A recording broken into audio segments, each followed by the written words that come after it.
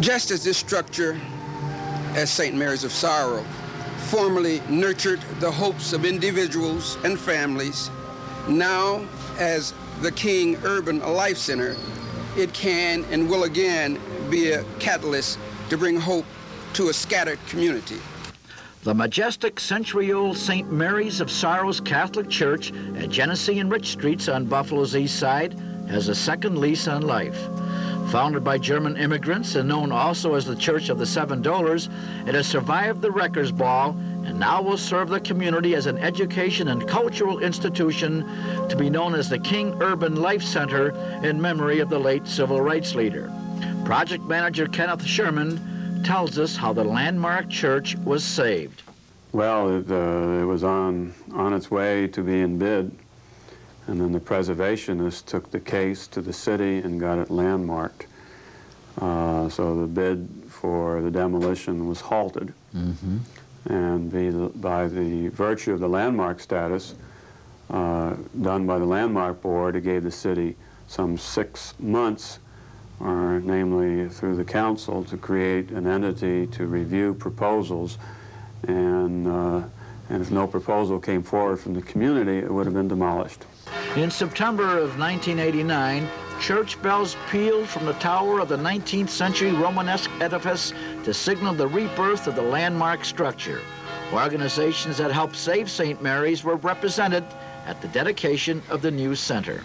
This group um, and would never be ha have been as successful had it not been for the Blue Ribbon Committee that was formed three years ago and many of us served on to study this building and to try to find a, a reuse for it. This project really represents for our organization a turning point in preservation in that we feel that it represents a change, a feeling, a mood. The preservation can be a benefit to everyone in the community, not just a particular segment of our community, but really a benefit to everyone.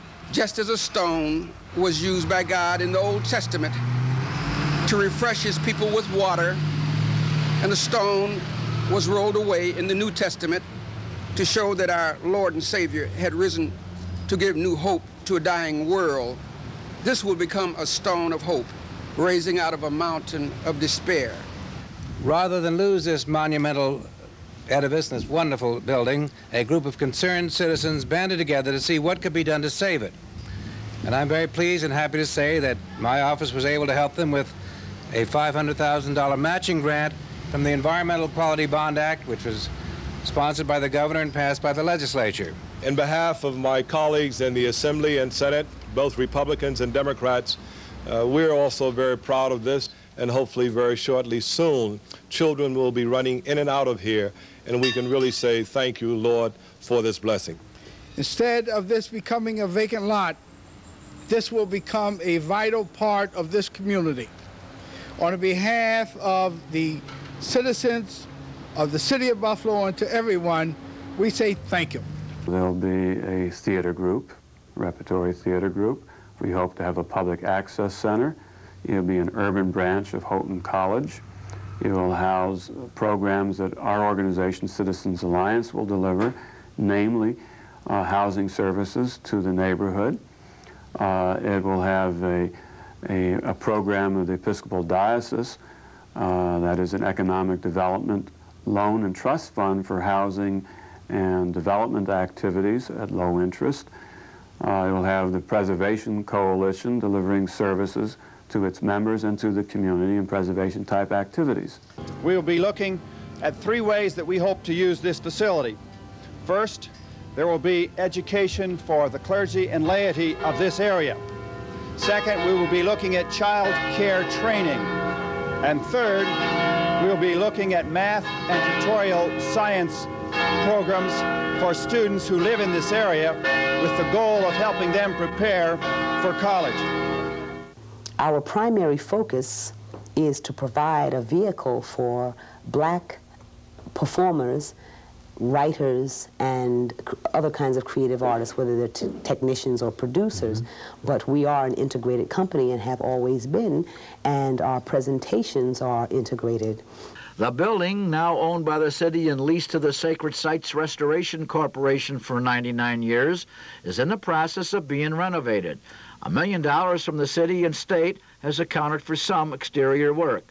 About two million more is needed to complete steeple, tower, and other exterior repairs, as well as an architectural study for interior renovation.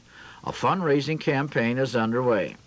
The news that daycare workers may be trained here, that children may soon have an after-school program here, that the talents of neighborhood people in the visual and performing arts may be exhibited here is most welcome news to the parishioners of St. Mary of Sorrows and the Catholic Diocese of Buffalo. It's a really a marvelous reuse of an old historic landmark. If we can do that, it will be a sign right across this whole of the United States on how people of diverse cultures, backgrounds, constituencies, and governments can work together to make a meaningful urban life program for a desperate neighborhood a sign of hope in a valley of despair.